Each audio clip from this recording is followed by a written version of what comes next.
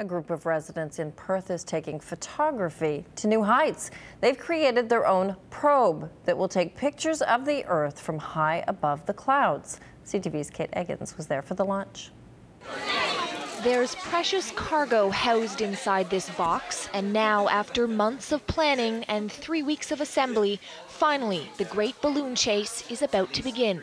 I was really excited last night. I was like, wow, it feels like Christmas as I was going to bed. A group of residents in eastern Ontario has created their own space probe. The winds will carry this helium filled balloon into the clouds and beyond. As it rises up, it's going to reach nearly 30 feet in diameter as it reaches 100,000 feet, our target altitude. The digital camera housed inside this protective box will snap a photo a minute on the ascent. Eventually, the balloon will burst and its load will come tumbling back to Earth. Hopefully, we're going to get some very good pictures from up there where the sky is completely black. You see the stars even during the day. Um, there's basically no atmosphere up there. It's down to about 2% of the air pressure down here. It's about a tenth of the way to where the space station orbits.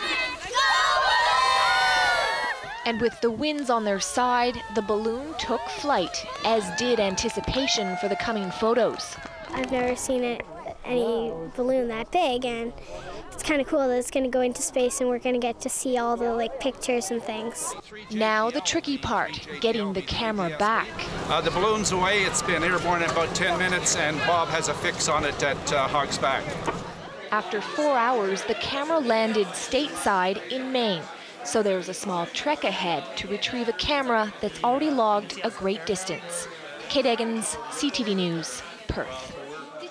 Now, depending how the retrieval of the camera unfolds tonight, we will have the pictures of Earth for you tomorrow at 6 first.